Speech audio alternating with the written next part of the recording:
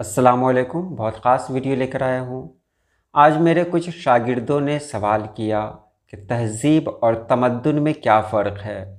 तहज़ीब और तमद्दुन पे एक वीडियो मैं पहले ही पोस्ट कर चुका हूँ, लेकिन बहुत पहले की बात है ये।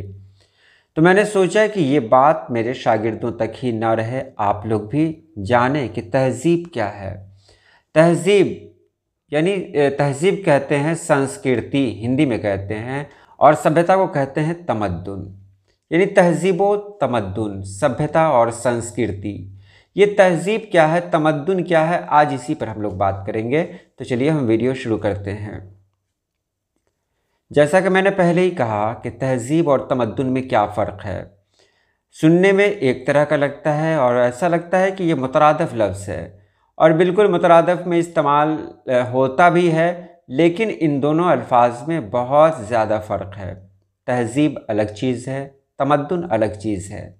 अगर आप गौर से सुनेंगे तो आपको बिल्कुल अच्छी तरीक़े से याद हो जाएगा। तो पहले बात करते हैं तमद्दुन की। देखिए, हम लोग इस्तेमाल करते हैं तहज़ीब व तमद्दुन, लेकिन पहले मैं बात करने जा रहा हूँ तमद्दुन की, क्योंकि तमद्दुन का दायरा जो होता है वो बहुत वसी होता है। उस दायरे के अंदर तहज़ीब आती है। तो तमद्दुन पहले है, तहज़ीब बाद में है। लेकिन इस्तेमाल करने वालों ने तहज़ीब व तमद्दुन इस्तेमाल किया। तो अब जानना यह है कि तमद्दुन क्या है। तो तमद्दुन है ज़िंदगी गुजारने का एक कायदा, एक सिस्टम, एक अच्छाई। याद रखें, तहज़ीब और तमद्दुन दोनों अच्छाई में इस्तेमाल होने वाले अल्फाज हैं। तहज़ीब हो या तमद्दुन हो, ये बुराई नहीं है।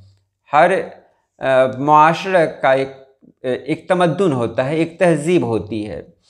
तो तहज़ीब या तमद्दुन का इस्तेमाल जब भी होगा वो अच्छाई में होगा। अब देखिए तमद्दुन किसको कहते हैं? पहले इसी को जान लेना है। तमद्दुन ये है कि हम लोग अच्छे इंसान हैं महज़ब इंसान हैं तो जो महज़ब इंसान होते हैं तो उनके अंदर कुछ आ, कुछ अलग ख़ासियत होती हैं बाकी लोगों से। जैसे एक महजब इंसान है, वो कपड़ा पहनेगा, वो कपड़े का इस्तेमाल करेगा, लिबास का इस्तेमाल करेगा। तो तमद्दुन क्या है? एक इंसान को इंसान की पहचान दिलाना कि अगर वो इंसान है और वो माशरे का एक हिस्सा है तो वो लिबास ज़रूर पहनेगा। तो लिबास पहनना, ये तमद्दुन में आता है। लिबास पहनना, ये तमद्दुन में आएगा। अब देखिए, तहज़ीब क्या है? तो लिबास तो सब पहनेंगे, तमद्दुन का इस्तेमाल सब करेंगे। यानी हर कौम, हर मज़हब के लोग इसी तमद्दुन पे चलेंगे। उनका तमद्दुन भी यही होगा।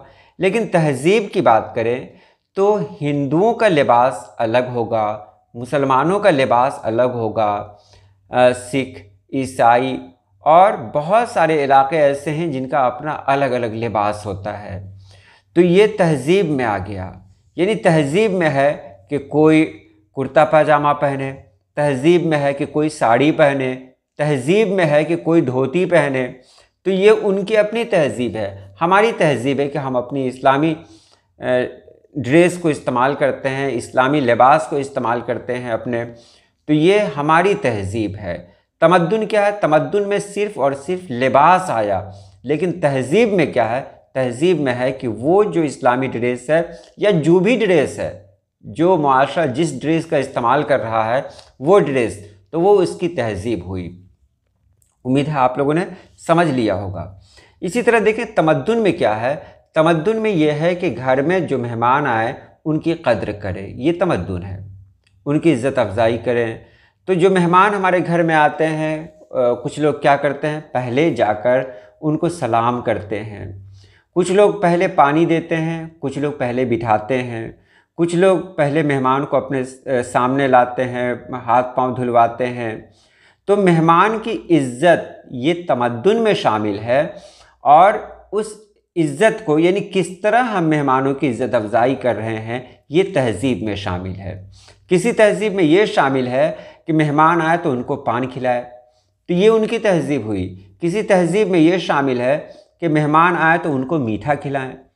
तो ये तहज़ीब हुई। तो तहज़ीब तो अलग है, लेकिन तमद्दुन में क्या है कि जो भी मेहमान आए, उनकी कद्र करें। तो मेहमानों की कद्र ये तमद्दुन का हिस्सा है।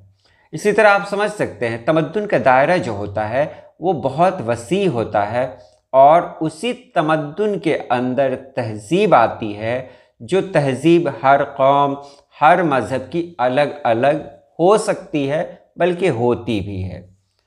तो मुझे उम्मीद है कि आपने समझ लिया होगा। तो आज के लिए इतना ही। अल्लाह पाक आप सभी लोगों को खुश रखे, आबाद रखे। अल्लाह हाफिज़।